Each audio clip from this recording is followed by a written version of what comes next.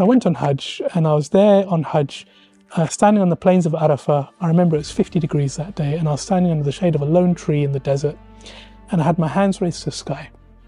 And I was having a conversation with Allah, and I was saying, Ya Allah, Allah, you have given me everything. Everything I could possibly ask for, Allah, you have given me. You've given me health. I have no health issues whatsoever. You have given me wealth. I'm earning more than I know what to do with. You've given me intellect. You've given me this actuarial skill set that not many people possess. I'm lacking for nothing in my life, yes. Ya Rab. What will I say to you when you ask me what I did with it all? Yes. And I pictured myself on that day standing in front of him on that day and Allah saying, My servant, what did you do with all the ni'mah I've given you? Mm. And I pictured myself saying, Ya Allah, I bought a car. Yes. And I went on holiday, mm. and that's all I did. And I've never been so afraid in my life. Imagine you've just lost your job. You're going through the hardest time in your life, and the bank now comes and takes your property away mm. from you. For me, that should be criminal. Raza, first of all, Assalamu alaikum. Welcome, salam. Thank you so much for being here. The founder of uh, Pfida. So, uh, first of all, explain what is Pfida and what's the model and how is it different from uh, many of the other products that exist in the Islamic finance space? Uh, yeah, well, thank you for having me. So, Pfida, uh, first I'll go through the name and then I'll explain what it is we do. The word Fayda, it means the same in lots of different languages Arabic, Urdu, Turkish, Persian, lots of different languages. It means benefit or goodness. Um, and uh, the the P at the front stands for people because we like to always put people first in everything we do. So we really aim to be the people's Fayda, and uh, our strapline actually you can see on my sleeve here is for the people. What we do is we help people into halal home ownership based on Islamic finance principles where there's no debt involved whatsoever, no interest or riba involved whatsoever. So we help people to get into completely halal home ownership in a way that they are comfortable with their faith, uh, whether it be for faith reasons or for any other reasons, people who don't want a mortgage or don't want an interest based mortgage. Um, and we can get into the mechanics of that. Um, to, at a very high level, just explain the differences. Uh, first, you have to understand how the other products on the market work. So let's take a conventional mortgage. With a conventional mortgage, the bank lends you a sum of money. You now owe that money back to the bank with yes. interest over a set period of time. Uh, so that's a very simple loan agreement. A fixed amount of money, fixed period of time with a fixed return. Effectively, Effectively it might be a although the interest rate interest. might be variable, right? So that's how a conventional mortgage product works. You've then got Islamic bank mortgages. Now, with Islamic bank mortgages, the bank doesn't lend you the money directly. The bank buys the property. And what the bank then does is say to you, right, you must buy this property off of us over a set period of time for a fixed price. And on top of that, you must pay us rent as well. So uh, what you've got there is a, a combination of two contracts of sale. You've got one uh, contract of sale of the uh, ownership of the property, one contract of sale of the usage of the property, which is the rental side. Mm-hmm. So what you're doing there is actually creating a debt obligation with a payment on top of that debt obligation. And this splits opinions. So mm. some Sharia scholars have signed off on this approach. Um, and even they will quite often say, you know, it's until we've got a better uh, yes. approach. Uh, and some Sharia scholars are actually not happy with this approach because there is a general prohibition in Islam. The Prophet ﷺ told us not to combine two contracts of sale in one because uh, by doing that you can replicate the same outcome as riba. Uh, you've then got uh, what's called a shared ownership product, where there's no debt involved whatsoever, and where there's no debt, there's effectively no riba. Mm-hmm. So with a shared ownership product, uh, which is how the Pfida product operates, we buy the property as partners. So if you and I buy a property together, let's say we buy a car together, I haven't loaned you any money, you haven't loaned me any money. Yeah. We both own, own that car together as partners. Now, if anything happens to that car, the true test of a partnership is who takes the risk. Yes. So if that car is destroyed, if I say to you, okay, Saj, you now have to buy my share of the car off of me, then that's not really a partnership, that's a mm. debt because I'm not really taking risk in the asset. Whereas if that car is destroyed and you take your share of loss and I take my share of loss, that is what defines a partnership. Yes. And that's one of the uh, things that we take to the next level at Pfida. So the sharing of the risk and the reward. We share of the risk and the reward. Well, actually, uh, so the reward is the upside in the property appreciation. Yes one thing we're very proud of at Pfida is to make the product very affordable. And so what we do is we say, whenever you're buying uh, shares in the property from us, we're going to continue selling to you at the original cost. Because we know property prices in the UK go up 5 to 10% per annum.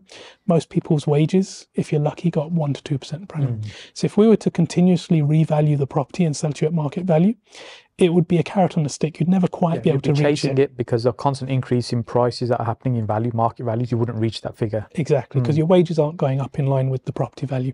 So we took the decision early on. We'll make our money off the rental income that we charge instead, and the upside will gift um, to our customers to make it affordable. So what that means is we have the flexibility of a shared ownership model, where you can literally we've got an app. You can go into your app month to month and decide what you want to pay. This month I just want to pay my rent. Click and it's done. This month I want to pay my rent and purchase some shares in the property. Click and it's done. This month I've saved up some money. I want to buy a large chunk of shares in the property and you can do what we call what if analysis. Mm-hmm. what if i buy a large chunk of shares? What does it do to my term? Yes. what does it do to my total cost? What does it do to my monthlies? Do i like that outcome? Yes. so you can make an informed decision. So you've got all that flexibility that you get with a shared ownership type model but we've priced it so that it costs you no more than a conventional mortgage. And that's nice. one thing we're very very proud of. When setting up Pfida it was very important to me that there should be no quote unquote Muslim premium, yes. or indeed no poverty premium. Yes. So the Muslim premium is where it costs you more to be Muslim, and the poverty premium is where it costs you more to be poor. Mm. Um, and I didn't want that. I didn't want to have a product where just because you're Muslim, it costs you more to buy a home. That's yeah, so defeating the purpose. That's a common objection that you often see with Islamic finance. That actually, the uh, if I go and pursue an Islamic mortgage, the cost of that will be higher than say a traditional high street lender and i'm doing it for faith reasons because i want to avoid interest but i'm being penalized for for going down this route. But let's just talk about why it's more expensive first of all. So what's the reason islamic finance is more expensive than a traditional mortgage yeah, so on, on the scale of things, conventional mortgages tend to be the cheapest, and that's because they're just straightforward debt. Debt is the cheapest form of finance. That's sort of economics 101, yes. right?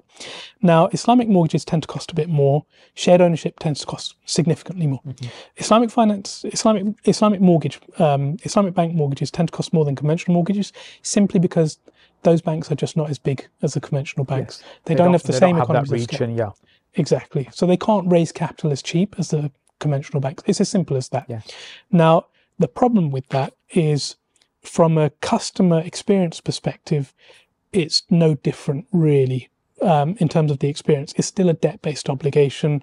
The outcomes are still very similar to a conventional product. So you end up paying a premium, but not really necessarily experiencing any difference in your worldly outcomes, right? Yeah, and so, that's one of the biggest problems. So the just picking up on that uh, a little bit more and breaking down a little bit more that. So sometimes people say it just replicates interest and they use another label or term, but effectively I'm paying the same thing. That's not quite correct. However, the as you said, the outcome and the experience can feel similar exactly. Uh, in terms of how it uh, how it works. Exactly. We have to be very careful to understand that Islamic bank products have been signed off by scholars, reputable scholars, um, and so uh, it's not right to say that it is just interest wrapped up in a different name. But what is very clear is that the economic outcome is the same as interest, yes. is the same as riba. And actually, even those very reputable scholars who sign off on these products, uh, they will be the first to say, look, we signed off on these products not because they're perfect, but because they are a step towards achieving a better outcome. Yes. And until we have a mainstream, more pure alternative, what what we don't want to do is turn Muslims away from home buying, right? Yes. Because actually, the detriment from Muslims no longer buying homes would be far greater, because uh, home ownership is linked to wealth and it's linked to family relationships and it's linked to mental health. And at the moment, Muslim home ownership is declining faster than any other demographic in the UK.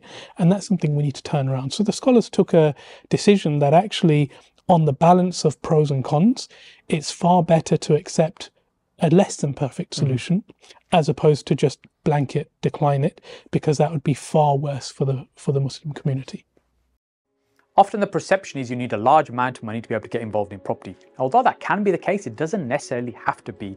There are many, many different ways that you can make money from property. The biggest challenge is though that many of them can't be done in a Sharia compliant way. There are, however, still some strategies and techniques that can be used to make significant profits from property. I've put together a short training for you that explains how you can make money from property in a halal and Sharia compliant way. Head over to the link, which is sajidhussain.com forward slash halal, and you can get the free training there. Now let's jump back to the podcast.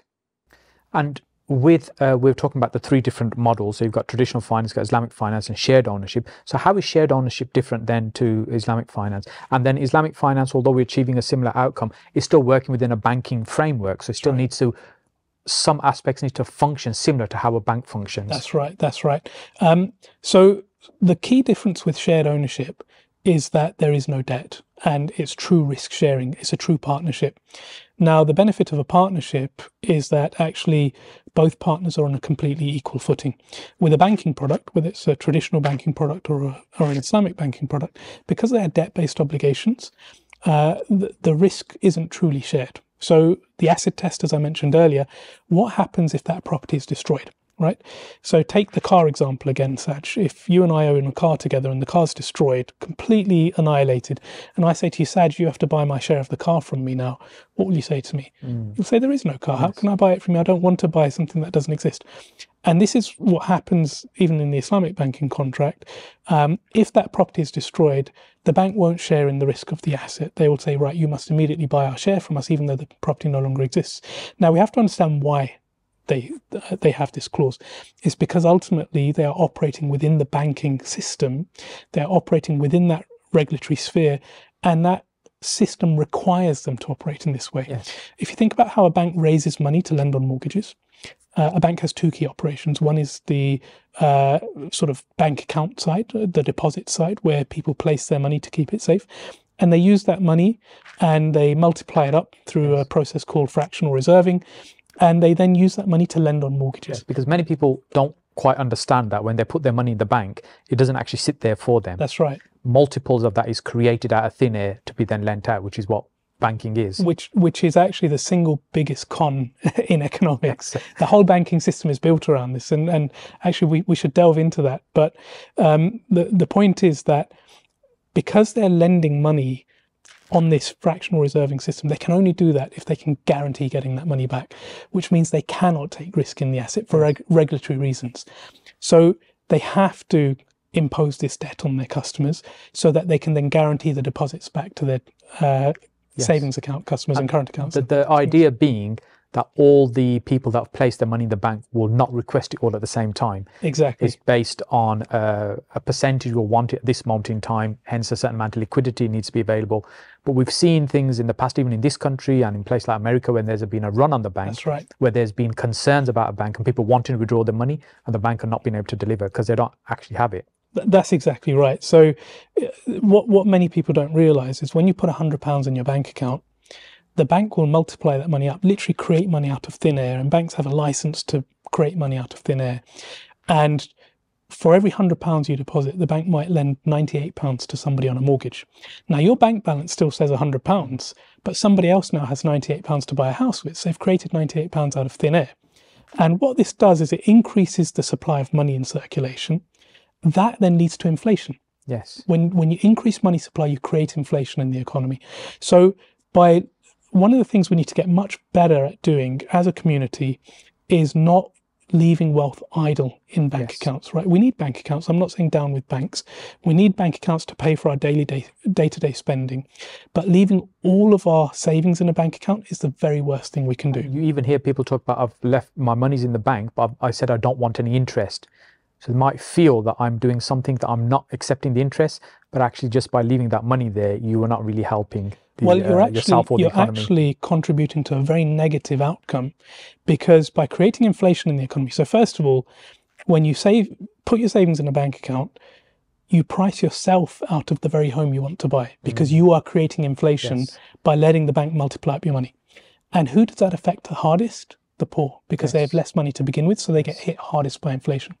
So the whole banking system actually widens the rich poor divide. And this mm. is the big con of the banking system. And again, I'm not down with banks yes. at all. But what I am saying is, as a community, it's so easy to invest now. There are so many platforms out there that let you invest for very low risk. Uh, you don't need to know anything about investing. Yes. And we need to just skill up as mm. a community and start investing our wealth. And actually, Islam demands this of us. Yes. Why do we pay zakat? on idle wealth in a bank account because Allah demands us to circulate that wealth, yes, do something useful something, with it, yes, activate it. Yes. And Allah says, if you can't find something useful to do with your wealth, at least pay some of it to the poor. So at least the poor benefit from it. Whereas when you leave it in a bank account, you don't benefit from it. Mm. Nobody else benefits from it. The only person who benefits is the banker. That's yes. it, right? When you invest that wealth, you circulate it through the economy and everybody in the economy benefits. The whole economy grows and everybody from rich down to poor benefits from yes. that. And that is actually a far better use of wealth than just paying two and a half percent on idle funds yes. to poor right? Because yes. when you circulate it, the poor benefit as well, but actually the whole economy benefits. So this is what actually Islam demands of us. As a community, we must get better at investing our wealth wisely and it's incumbent upon us to seek that knowledge and learn how to invest wisely.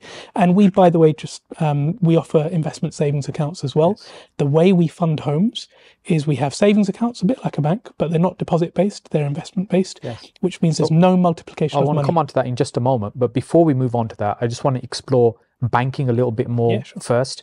So, in terms of the way banking works, banking is really designed to put extreme wealth in the hands of a few people. That's right and not for the majority.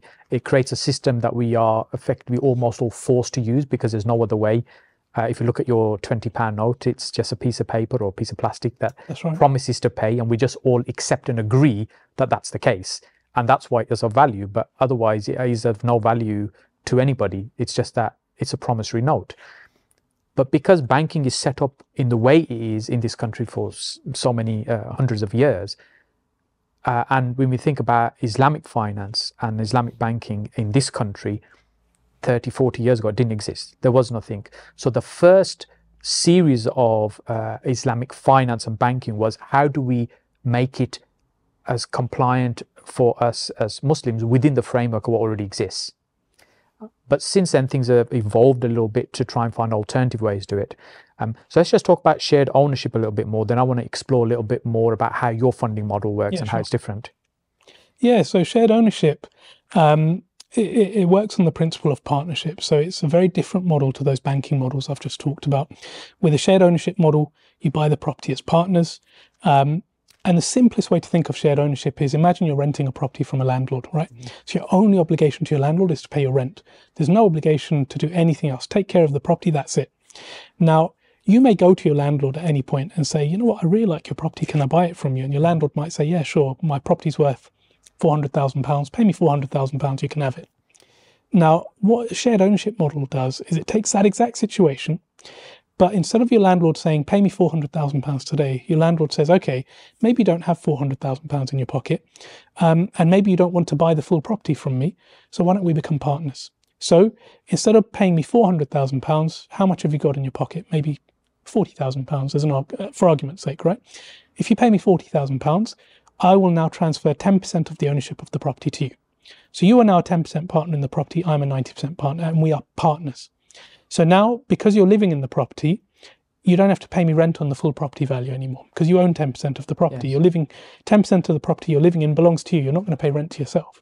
So instead of paying me rent on the full property, pay me rent on 90% of the property now. So your rent goes down as you increase your ownership. Yes. And this is what's called staircasing, right? So as you staircase up your ownership in the property, your rent goes down in line with the amount of equity you own. Now, the benefit of this is it's a very flexible model because you can literally uh, buy equity according to your means, according to life's ups and downs, with no debt whatsoever. There's no obligation on you to buy out your partner, just like there's no obligation on you to buy out your landlord. It's offer an acceptance if you choose to do it. But you've just got the ability to do it gradually over time if you choose to do so. And you don't have to stick to any sort of staircasing levels. You can go higher and lower according to your needs.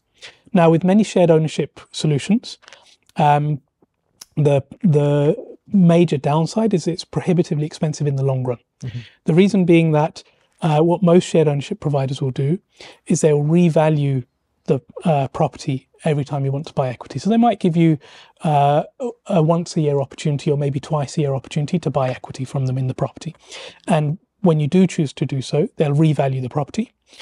And as the property value increases, they will charge you the current market price.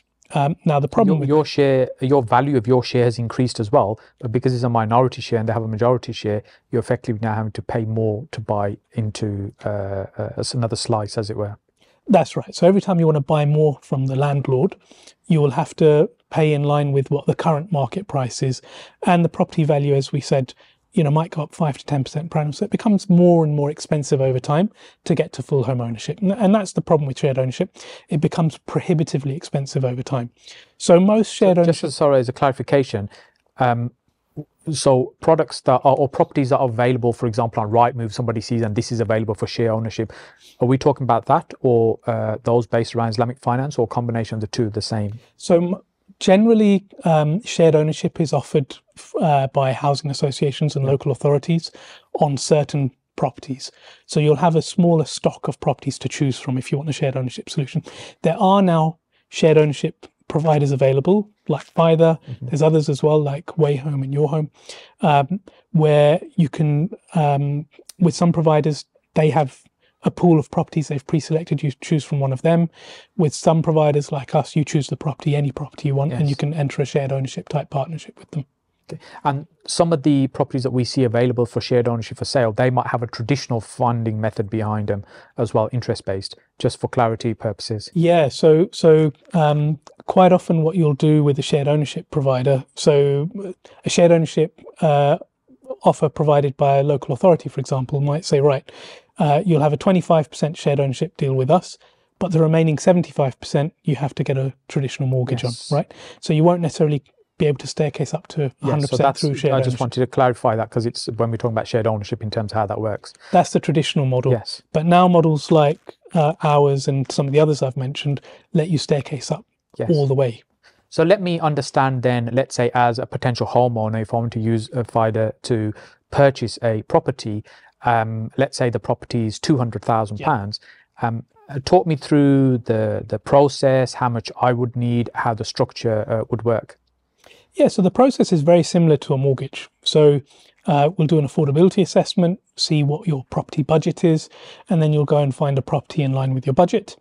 Uh, once you've found a property, we'll do the full application and we'll do affordability checks and background credit checks and ID checks and all the stuff that a bank would normally do. Now we normal place prudent checks you would uh, normal prudent do, checks. Yeah. So, for example, if somebody was uh, made bankrupt last year, it would not make financial sense to enter into a partnership with them. So it's That's a common right. sense approach. So we'll do normal prudent checks. Now, some of our customers we find have a very poor credit rating, but it's not because they are bad credit. It's because they've just never taken out a credit card. And that's a really important point. Uh, exactly. You, and I think maybe just emphasize that point because uh, what a credit file is is a demonstration on your ability to borrow and repay. That's right. But if you say, no, I don't get involved in any form of uh, borrowing, well, your credit file, when it's open, there's nothing in it to look at. That's right. So effectively, that gives you a low score because there's nothing to look at. exactly that. So this is one thing we take into account in our underwriting assessment.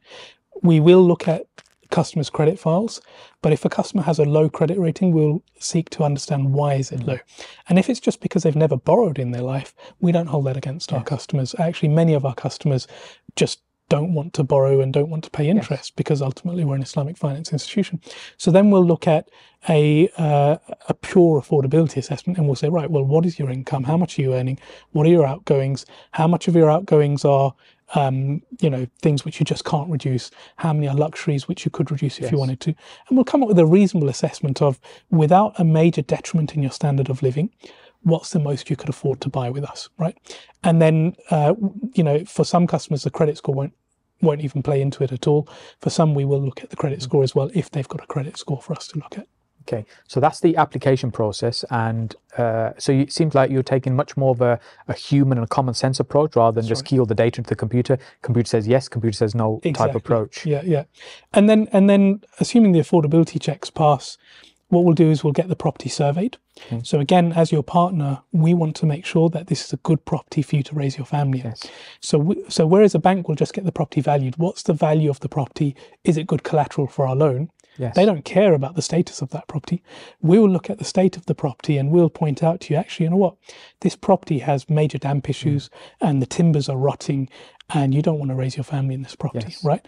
Um, or we'll say, actually, this is a mm. really good property, mm. and as partners, it makes sense for us to enter this partnership together because you want to raise your family here. We know the roof isn't going to collapse tomorrow and cause a loss for both of us. So we'll do that enhanced assessment that most banks wouldn't do. Yeah. So and when that, a survey normally is done by the bank, as you touched on earlier, that it's it's really just to ensure that their money is safe in that property. That's right. If if you are unable to pay and they have to repossess that property, they're able to recover their money. That's really their only concern at exactly that point. That. So the survey that comes out to do that valuation, that report on that property, that's what they're looking for. They're not looking for the quality of the property or the quality of accommodation, which is what you're referring to exactly as an right. enhanced survey.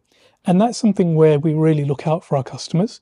And sometimes it's a tough conversation because we've had clients in the past where we've said to them, you know what, the electrics in this property are really dangerous. Mm. We're not comfortable taking yes. on this property because, you know, this property could burn to the ground any minute. Yes. And we'd expect our customers to to like that we're yes. doing this. But sometimes a customer will say, No, I really want this property. Why are you blocking me from buying this property? And it becomes emotional. It, yeah. And we have to be very firm in that respect because we know that buying a property is a very emotional yes. um, uh, journey.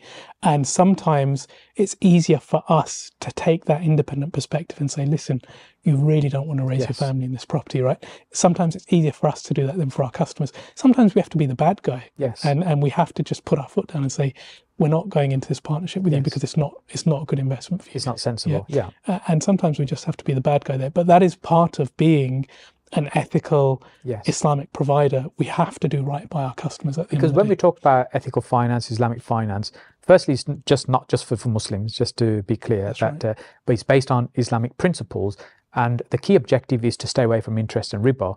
But the whole model needs to be ethical and fair, which is what we're talking about. Yeah, that's right. I mean, uh, you know, I was in an Islamic finance roundtable the other day, and we were talking about how can we take Sharia compliance to the next level. Mm. So there's Sharia compliance ticking the boxes, but what's the point of having a Sharia compliant product if all of your funding in the background is interest based debt and you're treating your employees like dirt and you're polluting the environment? Yeah, you've got a Sharia compliant yes. product, but are you actually meeting the maqasid, the higher mm. principles of Sharia?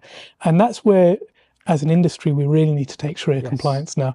We need to make sure that as operators, we are, uh, you know, uh, an example to other providers, yes. showing the true meaning of Sharia compliance rather than just ticking the boxes, mm. because that's how we'll, uh, you know, help society to realize that Islam actually has a really beautiful answer yes. to finance.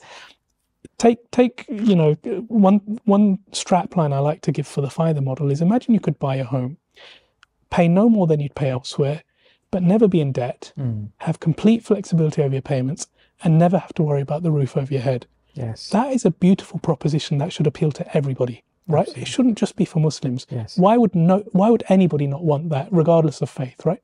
And that's just the product. Then take on top of that, and we treat our uh, staff really well, mm.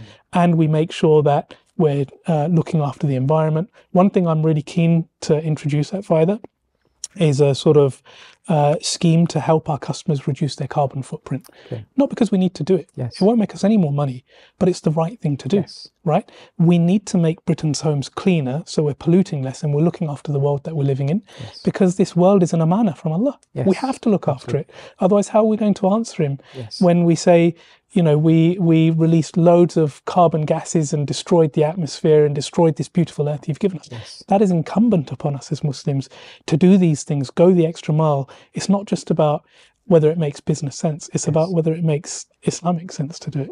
Absolutely. And I think the holistic approach is important to emphasize that it's not about trying to make one thing work, like how do we avoid interest? It's how the, the whole, building the whole picture.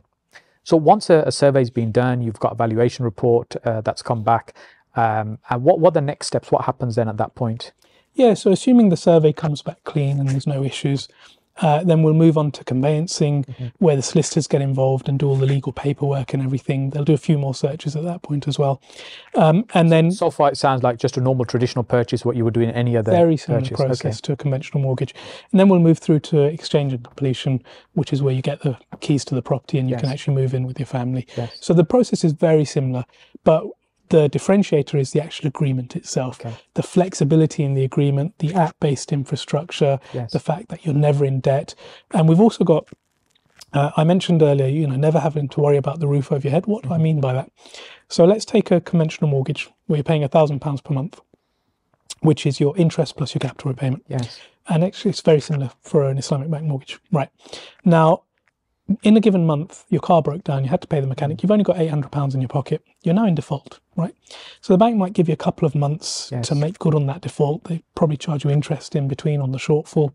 And within a couple of months, if you can't make good on that, you know, they're very likely to take your home away from you yes. and sell it. And because they're the finance provider, they get first call on any sale proceeds. Yeah. So if this property sells for a hundred thousand and you owe a hundred thousand, they get all of that hundred thousand and you get nothing. Yeah. Right? The objective is not to achieve the highest price. The objective is to get their money back. Precisely. So there's a massive conflict of interest yes. when they sell it. They have no incentive to sell it for the best price, just to sell it for an amount that recovers the debt that you owe. Right. Now, imagine you've just lost your job. You're going through the hardest time in your life and the bank now comes and takes your property away mm. from you. For me, that should be criminal. Yes, because you're at the lowest point anyway. You have another kick in the stomach. In your life, I think it should be criminal for the bank to now mm. take your home away from you. Now, what we have is the notion of an equity buffer, right? When you actually are buying equity with us, you're actually getting share certificates, proof of ownership.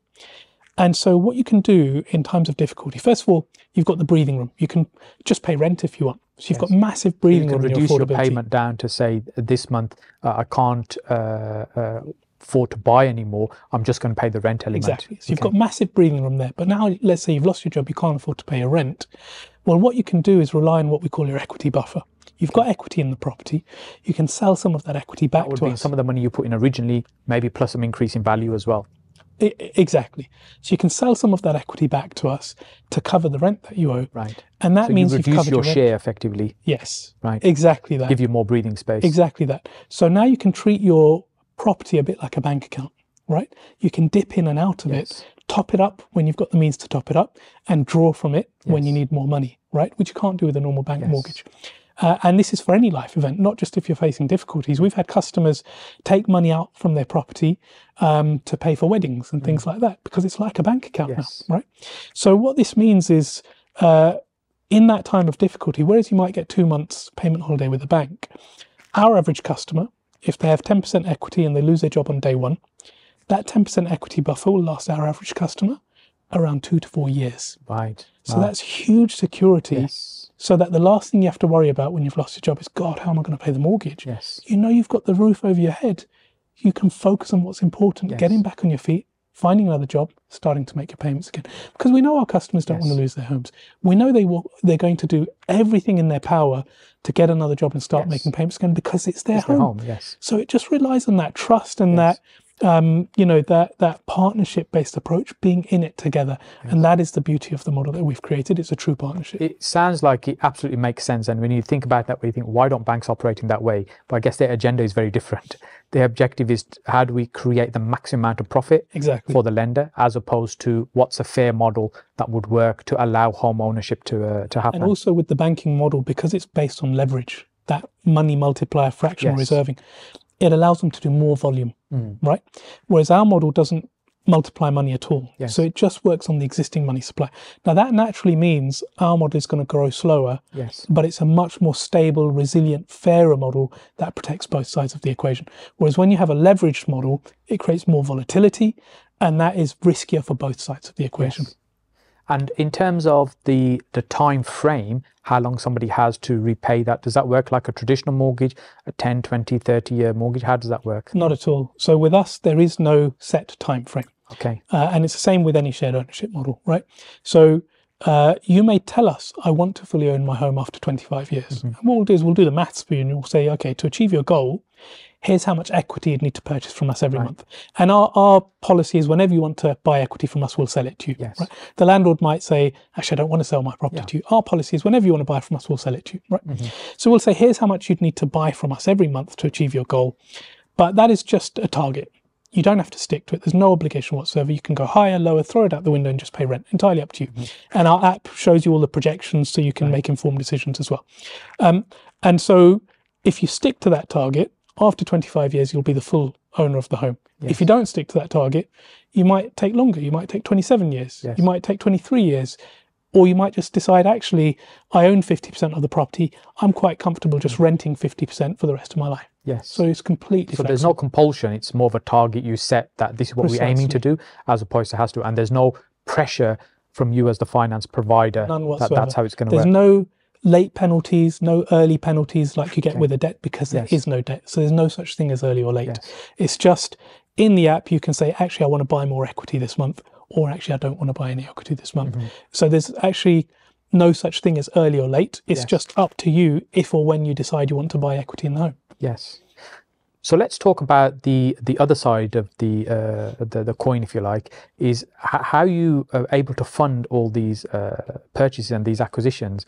Is there a huge vault with uh, billions of pounds sitting there waiting for you to? I, I wish there was. Um, so actually, we operate very similarly to a bank, but we're like a new age building society or, okay. or almost like a cooperative. And actually, cooperative is probably the closer example because Pfida is actually owned by our customers and mm. our investors. And even though we're uh, a shareholder owned company, we've only ever offered shares, apart from one exception, very small exception, um, to our customers and investors first and foremost, yes. because we want our um, interests to be completely aligned, not yes. riba interest. Yes. Uh, you know, our, yes. uh, we want we want our purpose to be completely aligned. That's how we ensure we're a true partnership in it together. So it's based on a cooperative principle, even though the structure is not a, a, a co-op as such. So the way it works is um, just like a bank or a cooperative, uh, we have savings accounts and people place money in those savings accounts. But our savings accounts are not the same as bank accounts. Okay. They're actually more like investment accounts. Right. So what what happens is when people place money in those bank accounts, oh, sorry, they're not bank accounts. When people place money in those investment savings accounts, mm. that is the money we use to fund homes. Right. And now we give our savers a profit share on the rental income that we're making. Right. So it's the most okay. halal yes. uh, methodology you could possibly yes. think of, right? So there's no uh, like with if we try to think about when we put money into the bank, a traditional bank, what happens to that money? There's a lot of complexity that goes opaque. on in the background, yeah. uh, and most people are completely oblivious to what that process right. is and what happens. Um, which is the bank's benefit because they, the most people assume the money's just sitting in the bank. I can just go and I can just go and get it. That's right which isn't the case. Even these days, if you try to withdraw a thousand pounds, they say, well, you have to give us notice. We don't have any money That's right. here. That's exactly right. Yeah. Even though it's your money. Yes. And actually, you know, that whole banking system is opaque for a reason. It's because banks have carte blanche to do whatever they want with your money, right? As long as they're holding a reserve. Yes. And depending on what they're doing with your money, they might have to hold a slightly bigger reserve. They can go and take huge risk with your money if they want to. Yes. And if that risk and many pays have off, done in the past. Yeah, exactly. Yes. It's not paid off for many in the past. But if it pays off, they take all the benefit of yes. that, even though they've used your money to take yes. that risk with. They take all of the reward. They give you a tiny sliver of interest um, on your bank. And if it doesn't pay off, and if it causes the bank to collapse, guess who takes the loss? Yes, the the people, because the, the government will bail them out. the, the, taxpayers yes. bail them out. Which is what happened to Lloyds Bank, effectively, uh, and various RBS, others at the time. Yes, yes. that's right. Yes. That's right. Um, so so when so when the bank takes risk with your money, you are exposed to all the risk but they take all the reward. Yes. It's the most heinous system you can possibly imagine. Our savings accounts are very transparent. Your money is only ever used for one purpose, which is to fund homes in a completely halal methodology, and you get a straightforward profit share on those homes. Yes. So it's very, very simple, transparent. So it's an investment account. You put in money in. So, for example, let's say I was putting ten thousand pounds into an investment account. That ten thousand pound then goes off to purchase, uh, contributes to one property, or is it kind of dispersed it's or pooled across all okay. of our properties? So, so the it mitigates benefit, the risk as well. Exactly. Yeah. So if you've got hundred thousand pounds, you might use that to buy a property, mm-hmm. right? Um, now we don't tend to think of risk when we buy property. It's bricks and mortar, safe as yes. houses, and all that. But there is risk, just like with any risk, investment. Yeah. If that property it's a lower risk, but there's risk. It's lower risk. Yes. Uh, but if that property is blown into the sea yes. and the insurance fails for whatever reason, you've lost your hundred thousand. Right now, in our portfolio, it's the same thing. It's bricks and mortar. We don't often hear of properties being destroyed. We don't often hear of insurance failing, yeah. but it can happen. Rare, It's exceptionally rare, but it can happen. But now, if you're pooling that risk across all of our property portfolio, mm now you're spreading your eggs, so they're not yes. all in one basket. So yes. now, even if that worst case scenario did happen to a property, if that property is worth 1% of our portfolio, yes, there will be a loss. But instead of losing £100,000, it will only be a 1% loss. Yes. And that will net off against the return you're getting in the right. form of your profit shares as well. Okay. So you're spreading your eggs. Yes. So the, the reward I'm getting for parking my money into this uh, uh, investment uh, savings uh, scheme is effectively, it's not interest, because the money is not being lent. That's right. It's a share of the rent that's being collected. It's just a simple share of the rent Right. that we're making. Exactly. Okay. And the rent we charge is genuine rent. Yes. It's not pegged to interest rent. rates or anything Yeah. like that. It's based predominantly on market rent uh, with some commercial considerations. So market rent isn't exact science. That- Yes. It will be arranged. Yeah. There's some commercial considerations in there, but it's pegged to market rent. It's reviewed once a year in line with property movements, Okay. not pegged to interest rates whatsoever. So it's genuine rent we're charging. Yes. And you're just getting a profit share on that genuine rent that we're charging. It's as uh, halal and straightforward as you could possibly Yes. ask. It seems like to me, Raza, what you've done is looked at how can we purchase property uh, based on core principles of kind of fairness and uh, in an ethical way, rather than thinking about what's the framework that I need to work within. Exactly. Come up with a model and think, okay, now how can I create this within the legal framework of the uh, the country we live in? That's exactly it. What we've done Okay. is build from the ground up Yes. rather than trying to look at existing products and trying to see how we can halalify them. Yes. Just built a brand new model. Yes. And actually, one thing I'm very proud of so I've got a, a, partner in the business, my Mm-hmm. co founder, Salman, he's a Sharia scholar himself. Um, and one thing I'm very proud of, I think we're probably one of the only Islamic financial institutions in the world, maybe even the only Islamic financial institution in the world, where one of the founders is themselves a Sharia scholar. Yes. So everything we've built has been based on Sharia principles. Whereas what you quite often find is the product will be built first, the infrastructure will be built first, and then you'll parachute in a scholar Yes. to provide that To Sharia approval. oversight, Yes. who will never have as detailed an understanding Yes. of all the intricacies Yes. as my co-founder, who's been there since the beginning Yes. and helped to build it himself. So that's something I'm That's very, very unique. proud of. That is very unique. Mm. So tell me about uh, how did this come about then? You know, it, was it a case of a was this a childhood uh, dream, or was it uh, one day you woke up and thought this is what I want to do, or what was the transition? How did this come quite, about? quite the opposite, actually. So, uh, a bit about myself. I'm an actuary. Actuaries are complex statistical modelers. Um, there's not many of us, so some of you So mostly work for like um, uh, banks, insurance companies to help them understand risk and, and exactly manage So, money. so Okay. what so what I used to do was I used to work across the London financial markets. Mm-hmm. I worked for insurance companies. I worked for consultancies like PwC. I worked for the Bank of England for a while, Okay. and I used to quantify risk. Right, I was what's called a capital modelling actuary. Right. So my job was to build very complex computer models to model risk, and I'd uh, run models that run thousands and thousands of simulations, looking at all the different risks and entities exposed to. So for an insurance company, they don't know how many claims they're going to get. Yes. So I'd model that out. They don't know what their investment portfolio is going to do. So I'd model that out. They don't know what their operational risks are. So I'd model that out. And I'd model all the dependencies between them and come up with a confidence interval of how much capital they need to hold Yes. to be 99.5% confident that they're never going to go insolvent, right? Yes. So it's a this very is all complex the, all the premiums they collect. How much of that they need to keep as cash in order to pay out, and that's based on uh, previous history of data and stuff and a modelling that you're doing. So that that was your role. Correct, correct. But but looking at the absolute tail extreme risks that Right. they know they're not going to go insolvent more than you know a one in two hundred year Yes. kind of scenario, Yes. right? That's why insurance companies are so profitable. Exactly, that's right.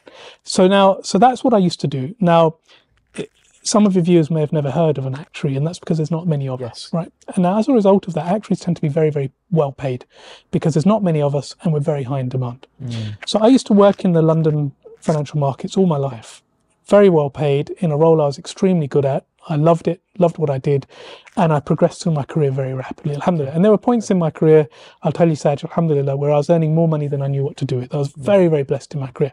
I had no reason to leave it. And um, I could never have imagined actually working for myself. I always thought that's too risky for me. I was going to Actuaries say are- actress and an entrepreneur don't seem to uh, No. sit on the same. Uh, Actuaries are risk averse by nature. yes. That's what we're paid to do. We're Yes. paid to look at the worst case scenarios, and that's where we live in the tail risk, right? So I could never have imagined that. But I'll tell you a story about when I was working at the Bank of England, um, and I was sat next to a chap called Elliot Luciani Kane, twenty-something-year-old new graduate, Okay. non-Muslim guy. And I was actually boasting to him, Saj, and I was saying, you know, Elliot, we actuaries make a ton of money. And my plan is by the time I'm 40, I'm going to own a property portfolio and retire off of the rental income. And Elliot, this 20 something year old non Muslim guy, wagged a finger in my face and he said, Raza, you know what you're doing? That's fine. You can do that. But it's um, potentially going to, you know, deepen the housing crisis we're already in, mm. right? Whereas what you have a responsibility to do with an actuarial skill set is fix it.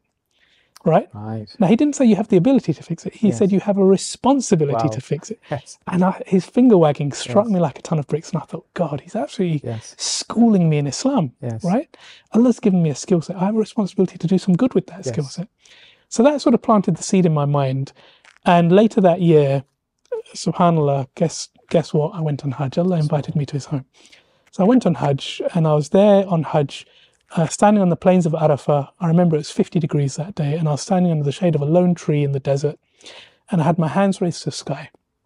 And I was having a conversation with Allah, and I was saying, Ya Allah, Allah, you have given me everything. Everything I could possibly ask for, Allah, you have given me. You've given me health. I have no health issues whatsoever. You have given me wealth. I'm earning more than I know what to do with. You've given me intellect. You've given me this actuarial skill set that not many people possess. I'm lacking for nothing in my life, Ya Rab. What will I say to you when you ask me what I did with it all? Yes. And I pictured myself on that day standing in front of him on that day, and Allah saying, My servant, what did you do with all the ni'mah I've given you? Mm. And I pictured myself saying, Ya Allah, I bought a car Yes. and I went on holiday, and hmm. that's all I did. And I've never been so afraid in my life hmm. as that day when I was having a conversation with Allah and picturing myself in front of Him. Yes. And I remember just repeating again and again, Ya Allah, what will I say to you? Ya Allah, what will I say to you? Ya Allah, what will I say to you? And I get emotional every time I tell this story hmm. because I remember crying like I've never cried in my life in this 50 degrees heat without any exaggeration. Wallahi, there was a puddle in the sand around my feet. Hmm. I've never shed so many tears in my life. I've never trembled so hard in my life, and I've never been so afraid in my life as that moment when I was picturing myself in front of my Lord trying to answer that question. And I remember thinking, Ya Rab, I am ashamed and afraid to stand in front of you on that day because I don't have a good good response. And I remember thinking, I have to try and do something to change that. And that was the moment that shifted my mind, completely shifted my perspective in life, and made me realize that I wanted to just have a better answer. I wanted to at least be able to say, Ya Rab, I tried. Maybe I failed, but at least I tried. And so I came back from Hajj. I ended my role at the Bank of England. Okay. And I thought, right, what can I do? And I thought about doing Quite a, a big, uh, dramatic change then. It's a Um, because sometimes we have these reflections and we we question, you know, on the day of judgment, we're going to get questioned, how did you lead your life? And everything you were blessed with, what did you do? exactly, I served myself. What about everybody else? exactly, exactly. What did you do? And very few then take action on that. So subhanAllah, it's amazing that you made that huge decision. People say going on Hajj is a life changing Yes. experience. You only understand what that means when you go on Hajj. Yes. So for anyone watching who hasn't be been a on Hajj, this in 2014. Uh, subhanAllah, I went to a Hajj and my life completely changed after that. absolutely, absolutely, your whole perspective on life Yes. changes. You realize how uh, huge this universe is Yes. and how infinitesimally small you are, Yes. and how there is just a much greater purpose. And going on Hajj gives you a chance to reflect on that, subhanAllah. So I, I, you know, I initially thought about doing charity work, and I realized maybe that's not my calling. Probably the logical thing that comes to mind. I should Yeah. serve others. Exactly. I should do charity work. Yes. Exactly, that's right. But then I realized there's lots of great charities, lots of people doing great work. Maybe not how I can utilize my skill set. And then I rewound to that conversation with Elliot and I thought, right, the housing market, what can I do here? How can I help, particularly Muslims who are very financially excluded, get into home ownership in a way they're completely comfortable with? And at that point, I'd never picked up an Islamic finance text in my life, mm-hmm. But I knew finance and I knew finance really well. And so I just used a pure common sense approach and I started building the product that we have today. And I actually drafted the legal documents myself, sitting at my desk at home. Um, and then I built the pricing model using this actuarial risk based approach where I modeled thousands of simulations and come up with a different range of outcomes. Um, I came up with a schematic for what I want the tech platform to look like. And then over time, we had volunteers joining us. SubhanAllah, Pfida, I say it often, was built by the community for the community. Yes. And actually, I, w- I want to get into how I built Pfida as well, because I think that's really important for your viewers to hear. But um, for the first five years, we completely bootstrapped, no external funding whatsoever. And the reason we were able to achieve that, we got to the point where we were funding homes. We had a fully built tech platform, had all of our legal agreements fully vetted and drafted without any external funding. The reason we were able to do that is because the community rallied around us, right? And the community, uh, we had people coming up to us saying, I love what you're building. Let me know how I can help. Yes. And we had a team It's of amazing and unique what you're doing. well, what we're doing is solving a real problem. Yes. Right? We're genuinely solving a problem that touches almost everybody you can think of. Yes. Right? Home ownership is so important. Um, and so we had a team of five developers, software developers, building out our tech platform for us completely voluntarily Right. on their evenings and weekends alongside their full time roles. Wow. And we had, um, when I say the community, I don't just mean Muslims, by the way. We had um, barristers, you know, the top lawyers in the land, giving us legal opinions. There's one gentleman who I'll be forever grateful to. His name's David Southern, one of the top tax barristers in the land. And, you know, we were getting quotes uh, for 30,000, 50,000 pounds, which we just didn't have because we weren't funded at that This point. is this is for them to give a legal opinion on how you will be structuring the business because Exactly. you need that guidance. to make sure it's Yes. enforceable and watertight and all that, right? Um, and you know, we were getting these quotes, and we went to David Southern and we said, "Look, we don't have much money, but this is what we're building. Can you help us out?" And these guys are already at the top of their game. They've Yes. earned their money. yes. And for him, it was academic. And he said, you know what? This is really interesting. I just find this quite exciting. He gave us that same legal opinion for £2,000 that others were charging £50,000. This is what I mean when I say Yes. Pfida was built by the community for the Yes. community. And for anyone watching, some of your viewers might want to build property empires or might be entrepreneurial. You know, the key bit of advice I can give is we have a very strong community. Yes. And all you need to do is find out how to unite hearts and minds. And if you can unite hearts and minds, there's nothing you can't achieve.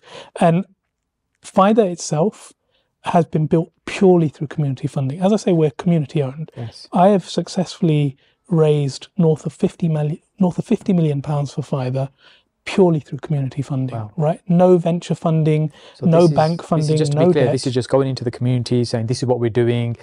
We want to get involved. You raised 50 million pounds doing that, and that was at the start when you started. that, that's from start to now. Wow. So some of that is operational capital to run the business.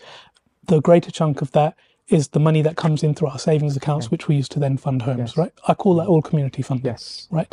Um, so all of that has been done without any bank funding. There's no debt in our business model whatsoever. So no it's not that in the background there's some big bank that's lent you the money from the Middle East or anything to say, here, I'll go on and set this. It's all being created from, as you said, grassroots, from the community. And this is, you know, I, I, I call this the barakah that Allah has, has placed in this business because we're genuinely trying to solve a problem here. And this is all just, uh, wallahi, I can't tell you, this is not because we're clever. It's not because we're particularly exceptional. It's because it's come to us. Yes. People have found us and said, I want to support you. Mm. And you and I were talking before we started Yes. recording, and you said, I hadn't really heard of Pfida before. You don't do much marketing. And we've not done any marketing. And this is what we've achieved because Yes. when you're solving a genuine problem, the community become your biggest advocates and they do all the marketing for you. And all of this is organic word of mouth traction. So, subhanAllah, you know, when you're solving a problem and you're doing it for a greater purpose, I've seen with my own eyes how Allah helps and He, he just He just supports you. And why wouldn't He? If you're Yes, doing it to please Him, clean, yes. why wouldn't he why wouldn't he support you? So that's the biggest advice i can give to any of your viewers. Whether it's building a business or building a property empire or whatever it is you want to do make sure you're doing it with the right intention. Yes. make sure you're trying to genuinely create good out of it. And i know what you do creates a lot of good. You create homes for people. You create wealth for people. You're creating real good with what you do Saj. And that's why i think allah's placed a lot of barakah in what you do as well Okay, I mean, so in terms of your vision for Pfida, how do you see this evolving, growing, and just help us understand the timelines in terms of when you started the first uh, home you helped fund and how many you've funded since then? Yeah, so I mean, as I said, when I initially started this, I did it very grudgingly. I didn't do it because I saw a business opportunity. I did it because I felt I had a real responsibility, right? And actually, my intention originally was um, if I can fund two homes out of my life savings, right? Fund two homes, help two families to genuinely avoid riba, Yes. then I can say to Allah, Ya Allah, I did something, right? And this was essentially you thinking, I'll use my own funds to help launch Correct. something like this. Correct. Okay. I thought with my life savings, I can fund two homes and then I can go back to being an actuary again and I can go back to doing what I'm really good at and what I'm making loads of money at. That was my intention. Okay. And I think that, Saj, actually made me a good founder because I'm doing this. You know, once I did one or two properties, I fell in love with it and that sense of fulfillment. I'm not earning anywhere near what I used to earn in the city, but I'm a thousand times more fulfilled, right? And I could never even dream of going back to the city now because I just love what I do. Um, and so I'm doing this not because of identifying a business opportunity, not because of being able to make lots of money from it. Yes. I'm doing this because I feel a genuine sense of responsibility. And I think that's what makes me a good founder, right?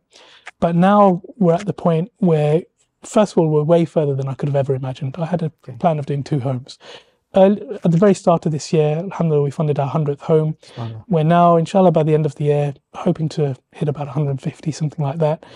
So we're That's at very, about very fast growth alhamdulillah, you know, we're we're growing. We're not growing as fast as if we were taking on debt lines and yes. leverage and uh, you know interest yes. bearing. Considering you're raising money from the community, as you said, you're not borrowing money.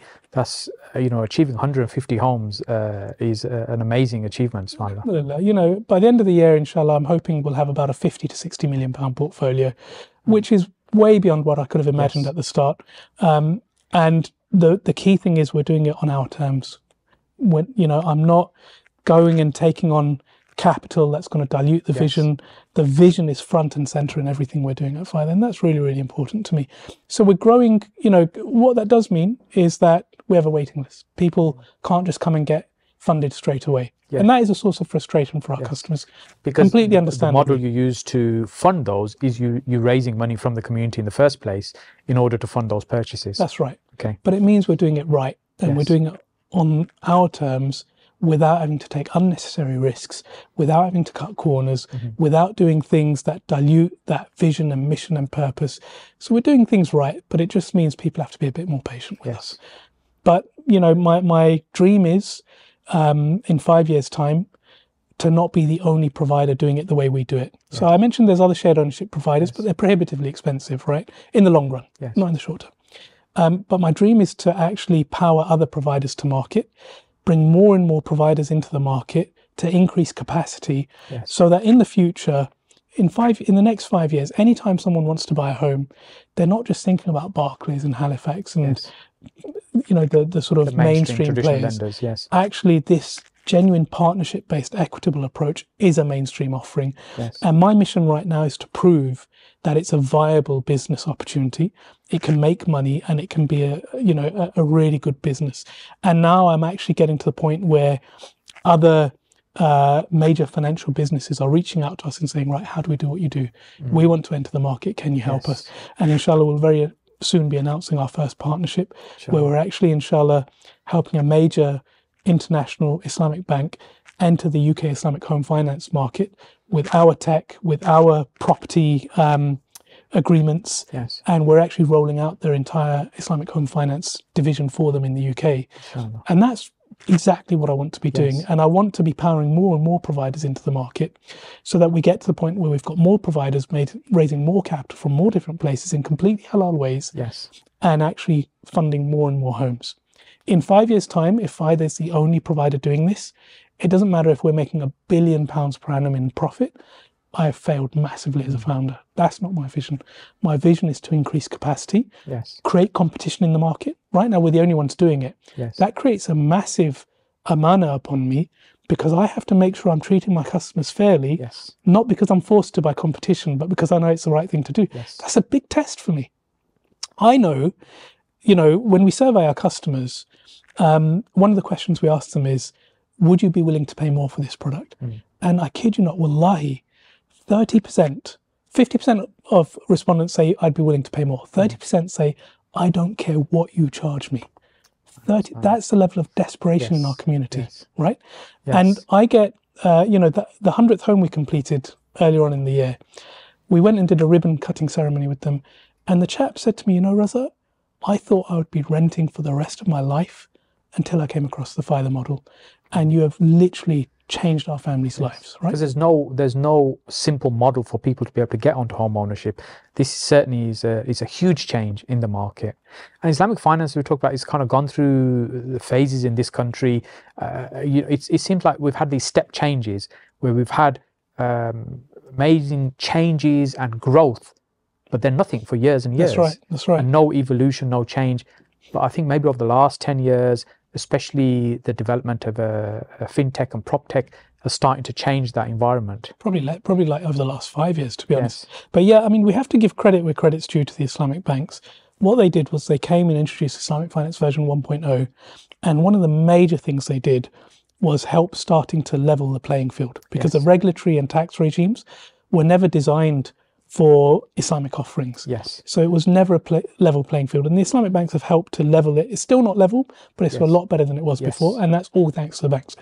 But what sadly then happened was once they entered the market, um, they just stopped innovating. So for the last 20 years, there's been no innovation in the. Islamic finance industry whatsoever.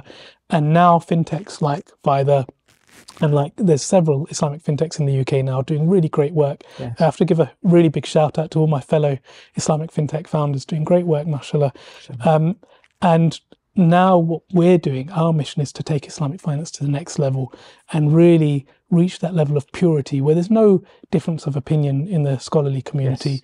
and where customers just get it, right? Yes. Without, because it's a simple model. You don't need a fatwa to yeah. have some peace of mind. Actually, this is great. You can see how simple and transparent the process is. Exactly. With our product, so we, we, so as well as having an internal Sharia scholar, we have an external Sharia body, yes. and they do the external Sharia certification. And I quite often say to my uh, partner Salman, do we even need that external certification? Because our customers don't even look at it. Yes. They look at the model and they just instantly feel comfortable with it because it's just such a simple, yes. transparent, clear model. And you just know in your heart of hearts, there's no riba here. It's yes. just obvious, right? Yes. So, Raza, the model that you use, what sort of label would you attribute to that? How would you describe it from a, an Islamic perspective? So, so the model we use is what's called a musharaka or a partnership model, okay. uh, and it's called a diminishing musharaka. So, what that means is our partnership share diminishes as your partnership share yes. increases, but uh, a lot of diminishing musharaka models are based on debt, where you must buy my share from me, okay. and that's what creates the issue because any uh, anything you pay on top of a monetary debt effectively replicates riba. Yes. With our model, there's no debt. You're not obli- obligated to buy from us. It's yes. just like buying from a landlord. You decide if or when you want to buy from us. Yes. So that's a so the obligation isn't there. That's I there's guess no the obligation, no debt, and there's therefore there's no two contracts in one. So how's that different from say some of the uh, traditional uh, Islamic finance institutions? So so one of the key um, issues with Islamic banking on a global basis is that it's really stagnated and there's no new innovation. But one of the biggest cons in Islamic finance, I, I think it is worth touching upon this, is a concept called commodity murabaha. Now, commodity murabaha is um, it involves a fictitious sale of metals to try and get around the prohibition of lending with interest. Yes. And I'll give you a simple example. So let's say um, I own a piece of metal. Let's pretend this is a lump of metal, right? Yes. And I sell this metal to you um, for £100 cash. So you give me £100 cash. But you now immediately sell this metal back to me for £110 on the spot, immediately. Right. But you say to me, you know what, don't pay me £110 for this today. You can pay me in a year's time. Right? Mm. So what have we done here? The metal has gone from me to you and then back to me again instantaneously. Yes. It's never even really exchanged hands. Yes. So that's actually fictitious. You can actually take the metal out of the equation. Nothing's really happened with yes. the metal. What's really happened is you've given me £100 cash today and said to me, give me £110 in a year's yes. time. Yes. Now, ba- basically, that's a loan with interest. Yes. So you've, you've wrapped something, uh, you've introduced the, the metal in uh, just so there's a trade uh, there. Exactly. Because in the Quran, Allah says that trade is halal, yes. but interest is not, right? So what uh, these clever banking lawyers have done is said, well, let's introduce a trade into the equation. But the problem is the trade is fictitious. Yes. And actually, for me, this is so fictitious and so insulting to Allah mm-hmm. because Allah said, don't don't charge money on money. Yes. That is the definition, pure definition of riba.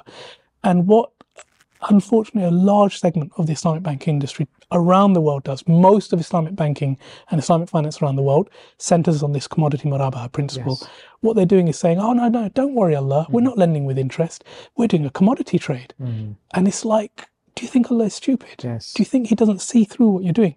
Now, in principle, if I sell you a lump of metal for 100 quid, nothing wrong with that. Yes. If you sell me a lump of metal for 110 quid and give me time to pay, Nothing wrong with that. Yes. They're actually two very halal contracts. Yes. But why did the Prophet ﷺ say don't combine two contracts of sale with one? Because mm. this is what you get when you combine two yes. contracts of sale with one. You basically create riba. Yes. And that is why it's prohibited.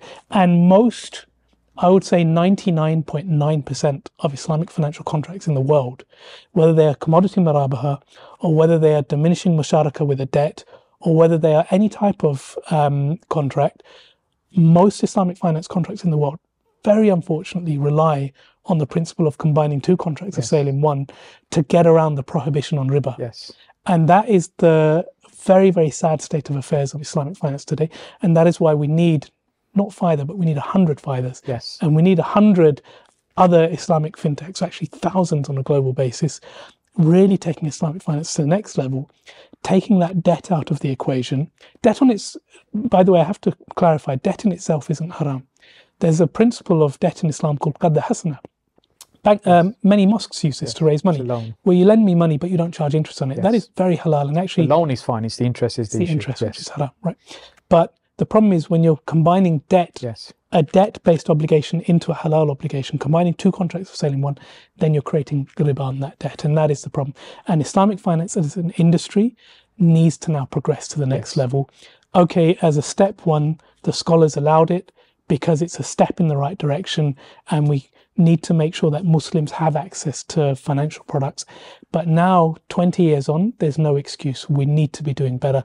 And this is why I want to be uh, you know, bringing more and more of these types of products to market, inshallah. I think uh, Islamic finance is at that pivotal point right now where there's an opportunity for huge growth and innovation if people get behind what's already there. And I agree with you that uh, Islamic finance uh, 1.0 has not been perfect. But personally, I've used many of the different types of contract. I've used the uh, commodity uh, murabaha one as well. And when I try to get my head around and try and understand it, and I, I have to say I don't fully understand exactly how it's been put together because it's not easy to understand yeah, yeah. Uh, in terms of how it's put together and the multiple contracts. Um, but my belief has always been it's better to try and support what's already there than work outside of what's there if possible. But I think we are now at that point where actually we can change now to the to the yeah, next level. Yeah. Yeah. I mean, there are some scholars, and this isn't all scholars I have to caveat, who say actually Islamic finance in its current form is worse than riba mm-hmm. because not only is it basically replicating the outcome yes. of riba, but it's also in some respects trying to fool Allah, yes. which is terrible, right? Yes. It's a it's a completely heinous thing to do. So there are some scholars who are vehemently against the existing products. I totally see the rationale for the scholars who have signed off on the products because we need a stepping stone, we need a step in the right direction, and the detriment of not having any products for Muslims would be far greater. So I totally yes. see that rationale. But as you rightly say, we are now at the stage where, as an ummah, you know, if you think about our parents' generations, their responsibility when they came to this country was to set up the mosques and the madrasas yes. and the halal food restaurants. Yes. Our responsibility in our generation, we have the professional skill sets that we now have a responsibility to take these products to the next level. Absolutely. And there's no excuse for us to not yes. do it now. Yes. Raza, this has been a, fascinating conversation, very educational uh, as well. And so may Allah subhanahu continue to bless you and put barakah in what you're, what you're doing on Pfida as well. And if people want to reach out to you, what's the best way for people to connect with you? Yeah, so the best way is to visit our website, pfida.com. So you can see the spelling is a bit weird, pfida.com. Uh, as I mentioned, the reason we've put the P at the beginning is for people, because we like to always put people first, even if it makes our name spelling awkward. So pfida.com, you can find out more about what we do. Uh, you can uh, reach out to our friendly team and arrange a call back and really just find out more. And feel free to connect with me on LinkedIn as well, inshallah. Razak Jazakallah. Thank you so much. much. Thank you.